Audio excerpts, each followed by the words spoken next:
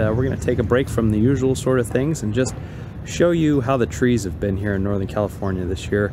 Uh, I don't know if it's the drought or the water intake, but it's been an unusually colorful year and I've been filming all week as I've been going out and about in different towns and communities uh, in my travels to show you just how beautiful it is. So hope you enjoy this tour of the leaves in Northern California in 2022.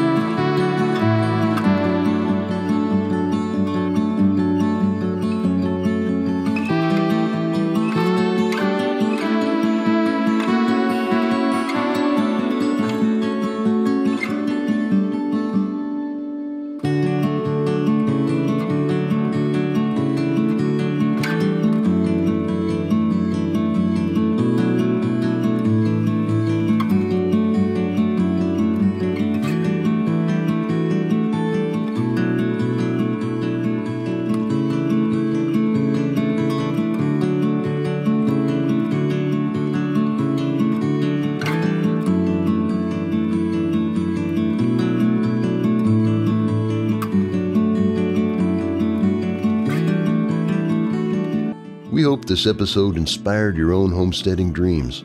If you like this channel, please subscribe and share it with others. And as always, thanks for watching. Bye now.